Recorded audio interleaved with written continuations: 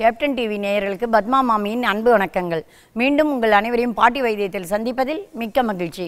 இன்றைக்கும் உங்களுக்கு கால் மரத்து போகிறது சுருட்டி இழுக்கிறது அந்த மாதிரி இதுக்காக தான் சொல்கிறேன் சில பேருக்கெல்லாம் நரம்பெல்லாம் ரொம்பவே சுருட்டின்னு இருக்கும். அவங்கெல்லாம் பாவம் தான் எந்த டைம்லேயும் அவங்களுக்கு காலை இழுக்கும் அப்படிங்கிறது தெரியாது. அதே போல் எந்த நேரம் அவங்களுக்கு கால்லாம் மரத்து போயிடும் அப்படிங்கிறது தெரியாது. அதே போல் உட்காந்துட்டே இருப்பாங்க முட்டி அப்படி ஒரு வழி வந்துடும் வலி வந்ததுனால ஏந்துக்க முடியாமல் கஷ்டப்படுவாங்க. அப்புறம் எழுந்து நின்னாலும் அவங்களால ஸ்டடியாக நிற்க முடியாது ஒரு ரெண்டு மூணு நிமிஷத்துக்கு. அதுக்காக ஒரு க கஷ்டப்படுவாங்க. இந்த மாதிரிலாம் இருக்கிற வாழ்க்கை அவ்வளோ அந்த மாதிரி கஷ்டங்கள்லாம் படக்கூடாது ஆரோக்கியமாக இருக்கணும் அப்படிங்கிறதுக்காக தான் இப்போ நான் ஒரு விஷயத்த சொல்ல போகிறேன் அது வந்து உங்களுக்கு ரொம்ப உபயோகமானது ஆனால் சீப் அண்ட் பெஸ்ட்டு அப்படின்னு சொல்லுவா இல்லையா? அந்த மாதிரி செலவில் கம்மியாக இருந்தாலும் பலனை நிறைய தரக்கூடியது. சாதாரணமாகவே நான் சொல்ல போகிறேன் இந்த ஜாதிக்காங்கிறது பல நோய்களுக்கு நமக்கு அவ்வளோ மருந்தாக இருக்குது கூடவே தூக்கம் இல்லாதவாளுக்கெல்லாம் கூட இந்த ஜாதிக்கா பற்றிலாம் நான் உங்களுக்கு சொல்லியிருக்கேன். அவள் அதெல்லாம் யூஸ் பண்ணால் நல்ல ஆழ்ந்த தூக்கம்லாம் வரும் அப்படின்னு.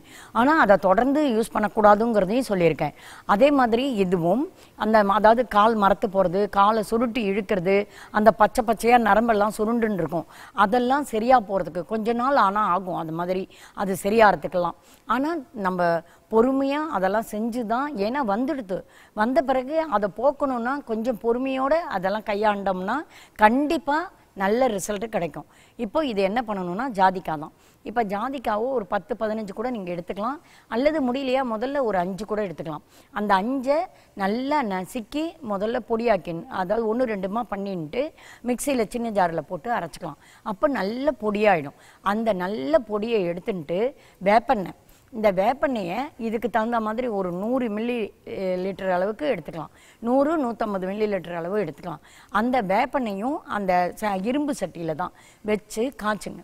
அந்த வேப்பெண்ணெய் நல்லா காஞ்சு வரும்போது இந்த ஜாதிக்காய் பொடியை போடுங்க. அதாவது நல்லாவே காஞ்சிருக்கலாம். அப்படி காஞ்சி வரும்போது இந்த ஜாதிக்காய் பொடியை அதில் போட்டுட்டு அது ஒரு கலக் கலக்கி கேஸை அணைச்சிருங்க. ரொம்ப நேரம்லாம் அது இருக்கணும்னு அவசியம் கிடையாது. ஆனால் அதில் அப்படியே ஊறிண்டே இருக்கட்டும் முதல்ல. முதல்ல நல்லா ஒரு நாலு மணி நேரம் ஊற வச்சுருங்க.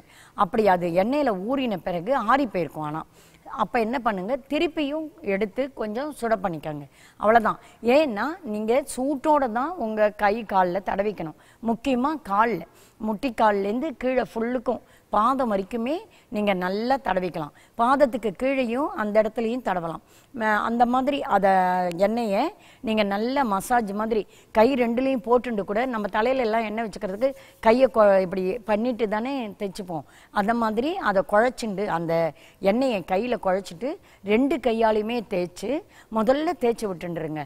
அதுக்கு பிறகு மசாஜ் பண்ணுற மாதிரி உங்கள் நாலு விரலையும் அஞ்சு விரலையும் வச்சு வச்சு அதை இப்படி இப்படி சுழட்டி சுழட்டி அதுவும் முக்கியமாக அந்த பச்சை பச்சையாக இருக்கிற நரம்பெல்லாம் இருக்குது பார்த்தீங்களா அந்த இடத்துல கொஞ்சம் கவனம் ஜாஸ்தி செலுத்தி மசாஜை கொஞ்சம் லேசாக அழுத்தி விட்டு பண்ணுங்க.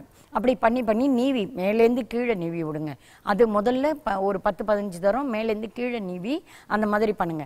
அதுக்கு பிறகு கீழேருந்து மேலே நீவி சுற்றி சுற்றி அந்த மாதிரி பண்ணுங்க. இந்த எண்ணெய் தயாரிக்கிறது மட்டும்தான் உங்களுக்கு கவனம் இருக்கும் அதுக்கு பிறகுலாம் நீங்கள் செய்கிறதெல்லாம் உங்களுடைய டைமிங்கில் எப்போ இருக்கோ இந்த எண்ணெயை தயார் பண்ணி வச்சுருங்க அதுக்கு பிறகு நீங்கள் ஊறணும் இதை. ஒரு மணி நேரம் ரெண்டு மணி நேரம் ஊறணுங்கிறதுனால எந்த டைம் இருக்கோ அந்த டைமில் இதை பண்ணிக்கலாம். ஆனால் நீங்கள் ஒவ்வொரு தரம் தடவும் போதும் உங்களுக்கு பொறுக்கிற சூட்டில் அந்த எண்ணெயை சுட பண்ணிட்டு தான் அதை செய்யணும். அதை வடிகட்டணும்லாம் அவசியம் இல்லை. அந்த தூள் அதில் இருந்தால் பரவாயில்ல.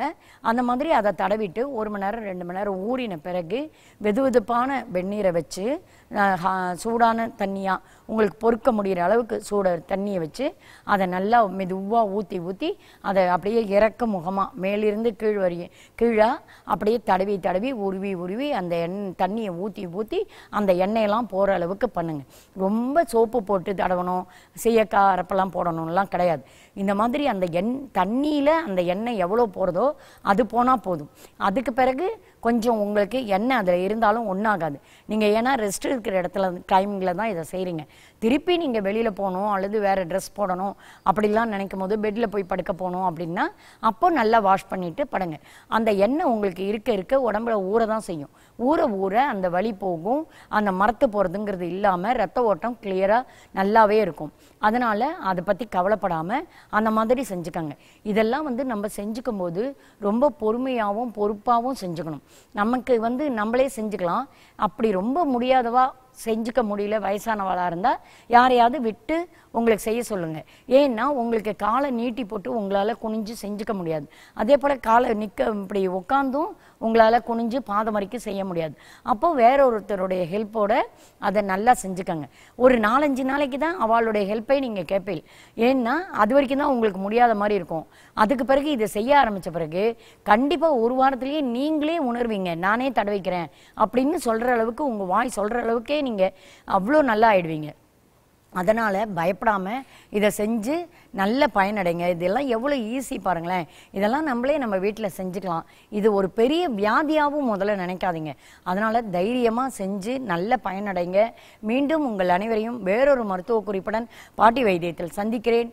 நன்றி வணக்கம்.